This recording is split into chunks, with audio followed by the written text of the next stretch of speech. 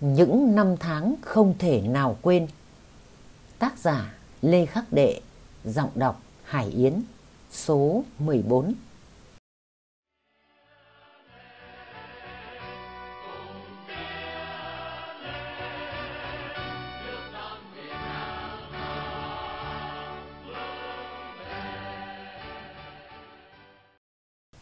Quân y ngày đêm cấp cứu thương binh. Vào chiến dịch quân y thường thức thâu đêm để mổ xẻ cấp cứu thương binh.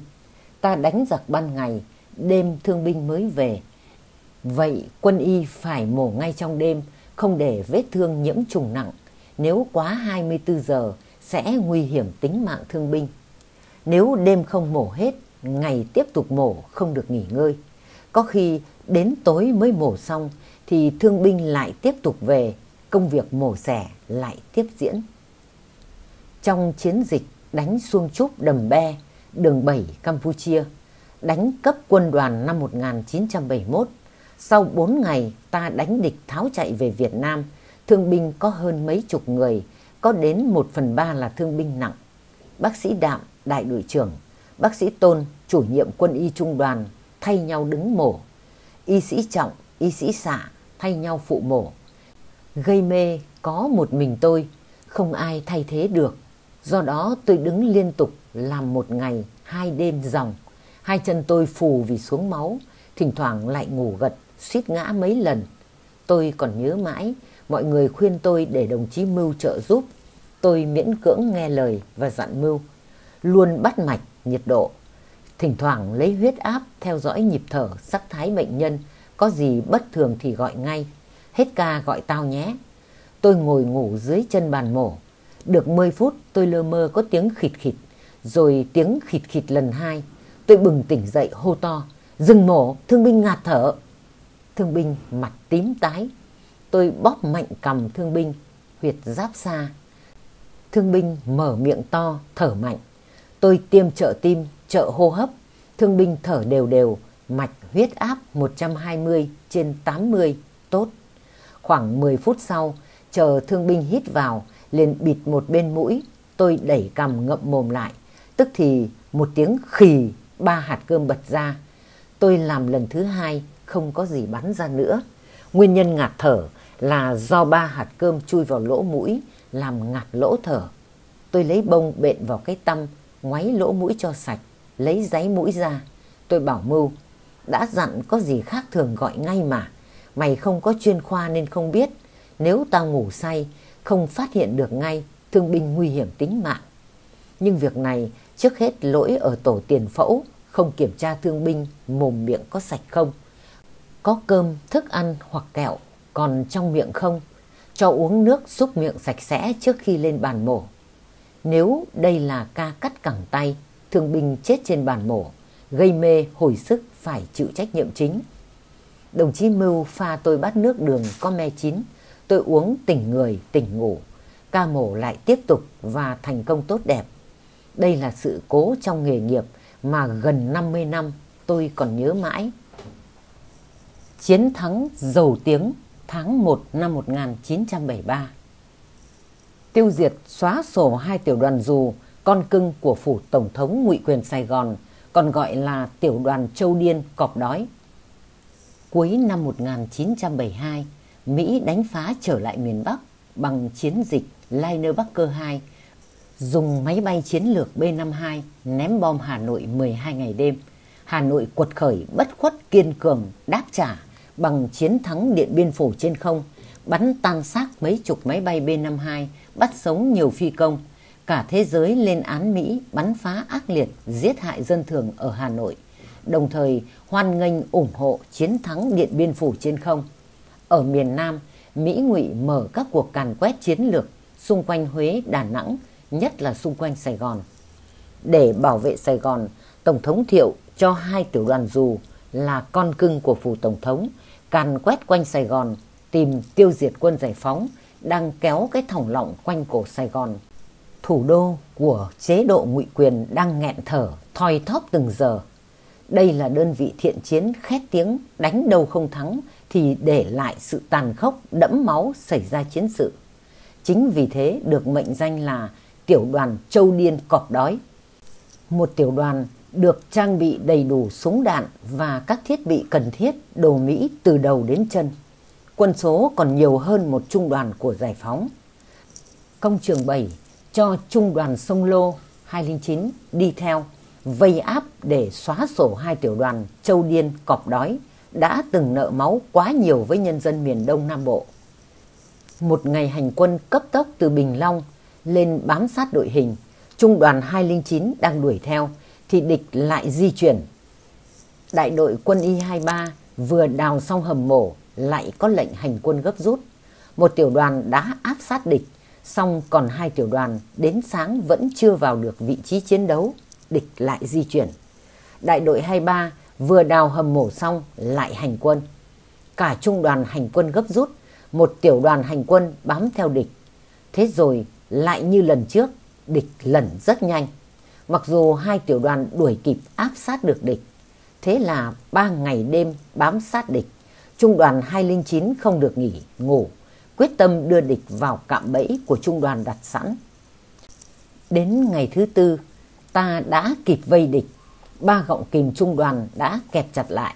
11 giờ trưa, hai tiểu đoàn châu điên cọp đói đi dọc suối cạn. Chúng dừng lại nghỉ trưa. Ta áp sát mà địch không biết. Chúng bỏ súng đạn xuống nghỉ ngơi, tất cả. Kẻ đun nước, đứa khui đồ hộp, thằng thì chuẩn bị đồ ăn. Tất cả ở tư thế mất cảnh giác. Thời cơ đã đến, lệnh tấn công phát ra. B-41 nổ súng. Tức thì mọi vũ khí của ta khai hỏa. Tiểu đoàn 7 đánh chính diện, địch bất ngờ không kịp nổ súng, chạy tán loạn. Đoàn đi đầu chạy tiếp lên, liền bị một tiểu đoàn ta đánh vỗ mặt. Địch lùi lại dồn về suối khô. Cả trận địa vang động tiếng hô sung phong. Tiếng B-41 AK nổ vang dậy. Địch chết la liệt, hầu như không kịp nổ súng. Địch cụm lại giơ tay xin hàng. Ta xông lên tước vũ khí, tháo quy lát súng địch vứt đi ta bắt tù binh phải tháo giày bỏ ra xa. Một số địch vượt qua suối cạn, bộ đội ta xông lên truy kích, bắn chết tại trận. Ta bắt địch ngồi gọn từng nhóm, mỗi nhóm từ 5 đến 7 đứa. Có nhóm chục đứa, ngồi gọn lại chờ giải phóng dẫn đi. Mỗi nhóm một đồng chí canh gác, số còn lại tiếp tục truy kích địch chạy theo suối. Ta đạp lên xác địch để truy kích địch. Ta đánh như tập trận, như trẻ con chơi bịt mắt bắt dê. Được chừng gần một giờ chiến đấu, lệnh không truy kích mà dẫn tù binh về hậu phương. Những khi xung trận, gặp nhau là hỏi bắt được mấy tù binh, hàng binh, thu được bao nhiêu vũ khí. Nay câu nói ấy lạc hậu rồi, xưa rồi, vì tù binh ai cũng bắt được mấy chục, còn vũ khí thì xe ô tô chở không hết. Một đứa hỏi, anh đệ kiếm được cái gì chưa? Anh được ba hộp thịt lợn rồi. Đứa thì nói, Tao được 5 hộp thịt bò. Kẻ lại nói, em lấy cái dây lưng, cả bình tong và tú đồ hộp buộc bên, không biết hộp gì. Lại có đứa hỏi, có sao không? Mày nhìn thì rõ. Người chiến thắng vui như Tết. Có đứa thì lại hậm hực. Tao đang truy kích địch, lại có lệnh cho nó chạy. Tao hỏi tại sao?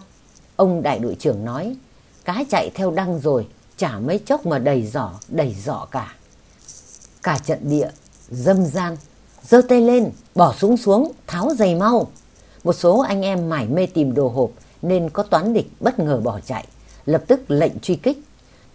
Thằng Tiến, thằng Trống, thằng Đệ cùng một số anh em lao lên, tiếng súng lại vang giòn. Có một thằng xách súng chạy, thằng Tiến, thằng Trống đuổi theo, hai anh em xả súng quyết liệt, nó chạy như bay. Thỉnh thoảng nó bắn lại một chàng rồi mất hút. Anh em bảo nó chết rồi về đi đội hình đi đầu của địch, ta bất ngờ dùng pháo tép nã tới tấp, xác địch ngổn ngang. Bộ đội ta ầm vang hô sung phong, giặc tháo lui về giữa đội hình, gặp đội hình của ta đang chiến thắng, khí thế hừng hực. Địch đến, các loại súng ta truy quét, địch co cụm lại, ta nã pháo tép. Ta sung phong lên, giơ tay lên, bỏ súng xuống. Lập tức hàng trăm cánh tay giơ lên, bộ đội ta xông lên lượm vũ khí xếp một đống to như đống dạ đống rơm vậy đồng thời không quên tháo băng đạn tháo quy lát trước khi ném xuống đất rồi một tiếng hô to tất cả ngồi xuống tháo giày Tù binh ngồi xuống làm răm rắp như đồng diễn thể dục của học sinh. Một đồng chí đại đội trưởng nói, hai đứa mày trinh sát đi trước, cắt mở đường, đưa tù binh về trung đoàn. Rồi anh đó nói tiếp, cứ 5 đến 6 tù binh thì một bộ đội đi sau, dí súng vào tù binh, thằng nào bỏ trốn, bắn ngay. Thế là tù binh được dẫn đi. Lúc đầu ta còn lấy dây giày của địch trói lại, sau thấy chúng đi ngoan và chẳng còn thời gian để trói. Cứ thế, dục tù binh xếp hàng đi theo. Lúc đầu đi năm bảy người, rừng chưa thành lối.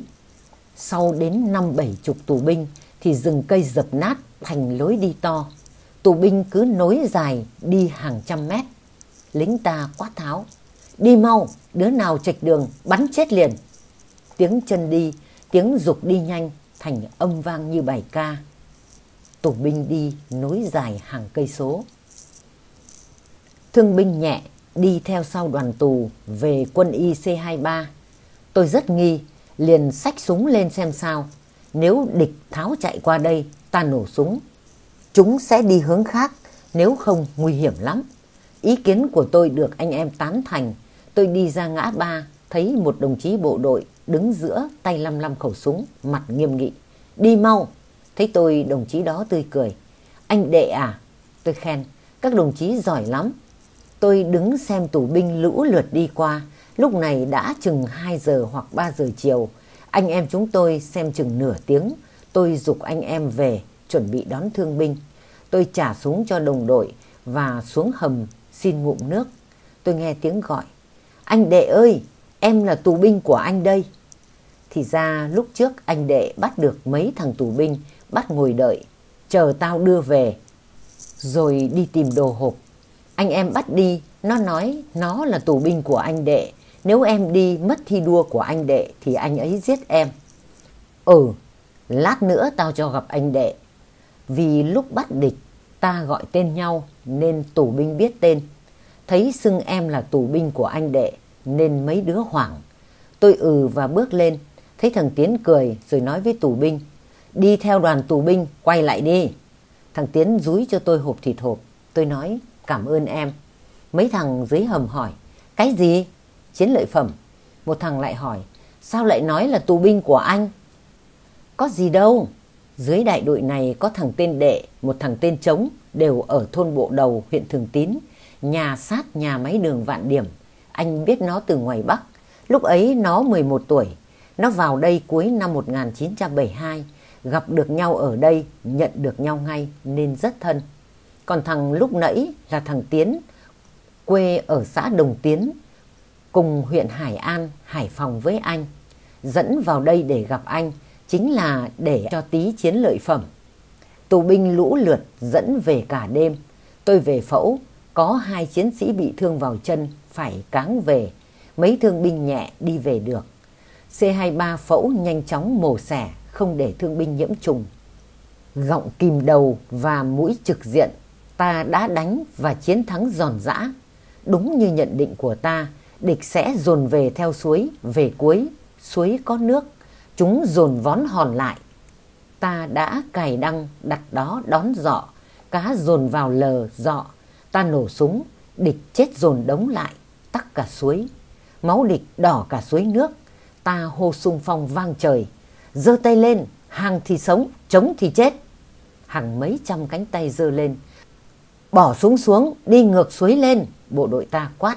Lũ tù binh lũ lượt thất thểu đi hàng dài lên bờ, bộ đội ta lại quát ngồi xuống, tháo giày vứt ra xa. Tất cả tù binh làm răm rắp như đồng diễn. Một lúc sau lại quát, tiếp tục đi. Cả đêm, tù binh đi. Đến sáng mới hết tù binh. Trung đoàn lệnh cho các đơn vị kiểm đếm quân số, tìm kiếm thương binh liệt sĩ, đồng thời thu dọn chiến lợi phẩm. Tiểu đoàn 7 thiếu thằng Lê Xuân Trống, thằng Tiến cùng mấy người nữa vừa đi vừa tìm gọi không thấy đâu. Đơn vị đành chịu, báo mất tích. Lính dù cọp đói châu điên chết la liệt. Các thằng lính ngụy bị thương nặng, ta băng bó cẩn thận. Tha cho mày sống, gọi vợ con đến đón về. Trong các tử sĩ ngụy có hai đứa là con gái, tuổi độ đôi mươi, chết giang tay giang chân thõng thượt. Súng của lính ngụy ta buộc thành bó vác về chất đống. Sau cho xuống hầm che giấu để sau này trở đi. Ta thu được các máy bộ đàm, địch bỏ máy bộ đàm súng để nghỉ ngơi. Ta bất ngờ đánh, địch không kịp báo về cấp trên của chúng nên không có phản ứng gì. Ta thu dọn chiến trường, nhàn cứ như đi chơi. Đến ngày thứ ba, ta tổng kết bắt sống được hơn 400 tên, bắn chết và thả cho về gần 500 tên. Vậy là hai tiểu đoàn dù con cưng của phủ Tổng thống Thiệu bị xóa sổ. Trưa thứ ba, trên đài phát thanh giải phóng, ta cho Mỹ và Ngụy quyền đến điểm X, kinh tuyến Y, vĩ tuyến Z để đón thương binh tử sĩ về. Mỹ Ngụy lơ đi. Chiều thứ tư, Mỹ Ngụy cho pháo binh, máy bay đến ném bom để xóa dấu vết thất bại của hai tiểu đoàn dù con cưng. Trong chiến tranh đánh Mỹ, ta từng tiêu diệt trung đoàn, lữ đoàn, sư đoàn của Mỹ ngụy. Nhưng ở đây, ta xóa sổ được hai tiểu đoàn ngụy. Ta phát trên đài giải phóng để cả thế giới biết. Ta cho phép Mỹ ngụy đến thu xác lính, đón thương binh về. Cả thế giới biết ta nhân đạo. Đáp lại thiện chí nhân đạo của ta là địch bắn pháo ném bom phi tang. Vậy chúng rất vô nhân đạo. Lúc sống thì đi đánh nhau vì mục đích của chúng. Lúc chết đối đãi như quả chanh vắt hết nước, vứt vỏ vỏ đi. Số phận lính đánh thuê là vậy, không bằng con chó chết. Con chó chết người ta còn nhặt về làm thịt, hoặc con chó cưng chết người ta còn chôn cất tử tế, thương tiếc. Thật nghiệt ngã cho kẻ làm tay sai, đi đánh thuê, bán nước, hại dân. Đúng là gieo hạt nào gặt quả ấy. Làm điều ác, ắt hẳn sẽ gặt quả thê thảm. Sau chiến thắng giàu tiếng được ít ngày, ngày 27 tháng 1 năm 1973, Hiệp định Paris được ký kết. Ngụy quyền Sài Gòn không muốn ký, nhưng quan thầy Mỹ bắt phải ký. Cũng giống như Ngụy quyền Sài Gòn, đế quốc Mỹ đại bại. Ta bắt Mỹ phải ký Hiệp định Paris để giải thoát số phận hàng ngàn lính Mỹ đang chờ chết. Đúng như ông chính trị viên nói, ta đánh Mỹ, dí bút vào tay, bắt Mỹ phải ký Hiệp định Paris, nếu không ký sẽ chết. Cắm cờ bảo vệ chủ quyền Theo Hiệp định Paris, các bên Việt Nam Cộng Hòa và Chính phủ Cách mạng Lâm thời Cộng hòa miền Nam Việt Nam sẽ cắm cờ xác định chủ quyền đã chiếm giữ ngụy quyền Sài Gòn đã vẽ cờ ba que lên các cánh cửa nhà dân ở Sài Gòn cũng như các làng quê dọc đường đi. Có nhà báo tư bản hỏi, Việt Nam Cộng Hòa cắm cờ khắp nơi, vậy giải phóng không cắm cờ là không có đất hay sao? Ta trả lời, nơi nào có cờ ngụy quyền Sài Gòn là của Việt Nam Cộng Hòa, còn lại là của chính phủ lâm thời Cộng hòa miền Nam Việt Nam. Vậy quốc lộ đường phố không có cờ là của chính phủ cách mạng lâm thời Cộng hòa miền Nam Việt Nam rồi. Để thực chất cắm cờ, ta cắm nơi tử huyệt của địch. Trung đoàn 209 cho một tiểu đoàn cắm cờ tại ấp Phú Hòa Đông trên đường 22. Đây là cửa ngõ Sài Gòn, giống như Tân Phú Trung ta chiếm được, như cái gai cắm vào mắt Sài Gòn. Cắt con đường huyết mạch từ Sài Gòn đi Tây Ninh và các tỉnh miền Tây. Chuẩn bị đến giờ dê của Hiệp định Paris, ta đánh chiếm và cắm cờ giải phóng. Cờ giải phóng bay hiên ngang ngay trước mặt kẻ thù. Mỹ ngụy điên cuồng đánh phá cờ giải phóng. Giờ dê đã qua, Mỹ ngụy không chấp hành mệnh lệnh ngừng bắn theo Hiệp định Paris. Cờ của ta bị hạ. Các chiến sĩ gan dạ xông lên cắm giữ. Cả đêm 27 và ngày 28, quân ta và địch giao tranh ác liệt ta có một tiểu đoàn chiếm giữ tại đây, danh nghĩa là tiểu đoàn, song quân số chỉ bằng một đại đội. Địch tăng viện bằng mấy chục xe tăng, mấy tiểu đoàn bộ binh. Quân ta ít nhưng tinh binh. Mỗi chiến sĩ hy sinh, địch phải trả giá bằng chục mạng lính đánh thuê. Xe tăng địch cháy ngút trời, đường 22 tắc hàng cây số. Dân chúng náo loạn, Mỹ ngụy hoang mang. Hàng trăm xác Mỹ ngụy đưa về Sài Gòn Đến đêm 28 tháng 1 năm 1973, quân ta đã thiệt hại quá nửa, đành nhường chiến tuyến cho kẻ thù. Về phía dầu tiếng Tây Ninh, có một con đường duy nhất vào Củ Chi đi qua rạch Bắp. Đầu giờ dê, 209 dựng cổng trào cắm cờ giải phóng cách địch khoảng 500 đến 600 mét. ngụy quân thấy cờ cắm chiếm đường đi vào đồn bốt chúng. Có nghĩa là cắt đường tiếp tế sống còn của địch. Chúng phát loa yêu cầu cho đi qua ta phát loa trả lời địch. Yêu cầu quân đội các bên đóng quân tại chỗ không đi lại ra ngoài chỗ cắm cờ. Hôm sau chúng yêu cầu cho phép đi qua chỗ cắm cờ. Ta trả lời, còn xin ý kiến cấp trên. Đến hôm thứ ba, chúng lại yêu cầu cho ra ngoài cứ. Ta trả lời, chưa nhận được lệnh của cấp trên. Tức thì chỉ huy rạch bắp cho nã pháo bắn hạ cờ quân giải phóng. Quân ta lại dựng cờ lên, địch lại bắn hạ. Thế là cấp trên của ta quyết định dạy cho chúng một bài học nhớ đời. Cả trung đoàn 209 ra tay, ta bao vây chặt bốn phía có cả pháo 75 nòng dài của miền hỗ trợ trung đoàn 209 là đơn vị bắt tướng De Castries hồi đánh Điện Biên Phủ nên có kinh nghiệm đánh công kiên. Nay có cán bộ trung đoàn thời đánh Pháp, ông cán bộ nói, ngày xưa chúng tôi đánh Điện Biên Phủ, pháo chúng tôi cứ ngắm nhìn qua nòng súng, chúng đồn bốt là bắn. Lính ta phải làm theo, rạch bắp cứ điểm nhỏ, đường kính cứ điểm khoảng 1 km, pháo ta bắn xuyên qua tường thành, qua các lán trạng, đạn xuyên qua bờ tường đối diện ra ngoài rừng mới nổ. Thế là lính ta bị thương. Lính trong rạch bóc rất sợ hãi, không biết ta dùng loại pháo gì mà kinh khủng vậy. Pháo là phải bắn cầu vòng, đi khoảng bao nhiêu cây số nhất định thì kim hỏa mới chạm vào kíp nổ, đạn rơi xuống đất hoặc chạm vật cứng mới nổ được. Lính ngụy quá sợ hãi chui xuống hầm ngầm, không chống chọi. Ta thừa cơ xung phong vượt tường rào. Lúc bộ binh xung phong có một y tá đi theo, bên người luôn có hộp cứu thương. Đi qua lỗ châu mai, y tá thấy nòng súng thò ra ngoài, liền lấy tay kéo ra. Lính ngụy trong lô cốt thấy vậy, kéo súng lại và bóp cò. Cả chàng đạn trúng người đồng chí y tá. Quân ta xông vào doanh trại truy kích địch. Địch từ hầm ngầm ngoi lên điên cuồng chống trả. Lính ta bị đánh bất ngờ thương vong, đành rút lui ra ngoài đồn bốt trước khi trời sáng. Địch kêu ta vi phạm Hiệp định Paris và bàn giao xác quân giải phóng vi phạm. Đêm đến, ta vẫn tiếp tục tấn công đồn rạch bắp. Anh em dùng dây rừng buộc vào chân đồng chí y tá rồi bò ra xa kéo.